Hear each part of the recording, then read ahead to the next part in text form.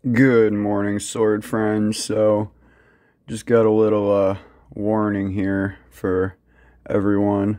So, we all know that tatami mats are hard to come by these days, and when they are available, they are outrageously priced.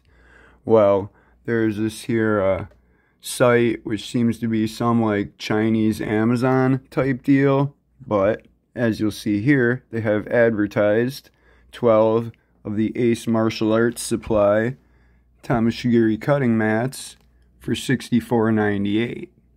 Not only that, the shipping is free.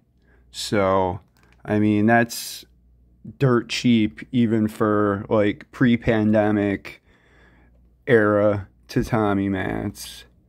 Now, I placed an order for 12 of these said mats on September 23rd.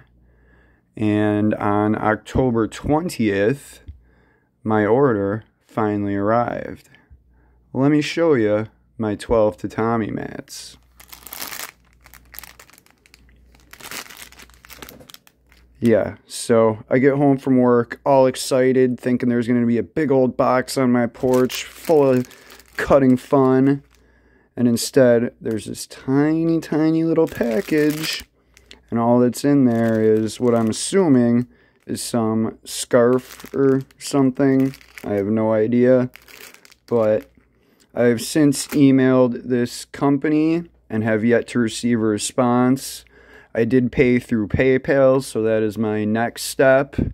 So hopefully I will be refunded from PayPal because that is clearly not 12 tatami mats. And as I had this pulled up on my desktop, I noticed something here about this item. We aim to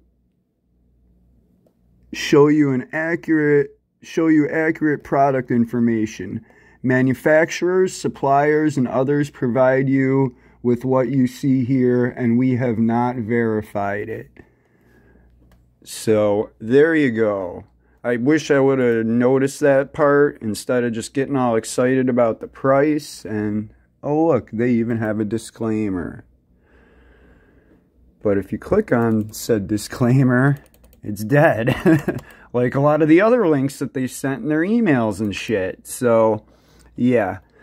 When a thing seems too good to be true, it usually is. So, if you're looking for tatami mats, please avoid CADTUR because you're not going to be happy with your mats. So hopefully I'll get my satisfaction from PayPal and I'll see what I can do about cutting this scarf or whatever this nonsense is. But just want to let everybody know if anybody else has that awesome screaming deal link, you may want to get rid of it. Thanks for watching. Have a good one and buyer beware.